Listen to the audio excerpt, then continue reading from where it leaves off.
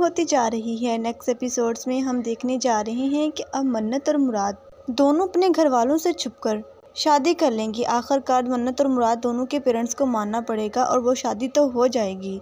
लेकिन ना तो मुराद के भाई चाहते हैं कि मन्नत की शादी मुराद के साथ हो और ना ही मन्नत की माँ, मन्नत से मुराद की शादी करना चाहती है। जब मन्नत उस घर में आएगी तो बहुत खुश होगी कि मुराद के साथ ज़िंदगी के हसीन ख्वाब देखकर आएगी, लेकिन उसे नहीं पता कि वो सारे ख्वाब टूट जाएँगे।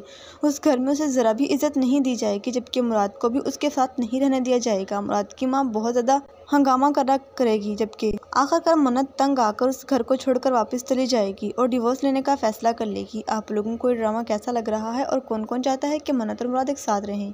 कमेंट करके अपनी कीमती राय का इजहार लाजमी कीजिएगा। मजीद ड्रामा रिव्यूज़ के लिए चैनल को सब्सक्राइब करें साथ में मुझे बेलाइकन को दबा लें, ताकि हमारे चैनल पर चलने वाली हर न्यू अपडेट का नोटिफिकेशन आपको बसानी और वक्त पर मिलता रहे। शुक्रिया।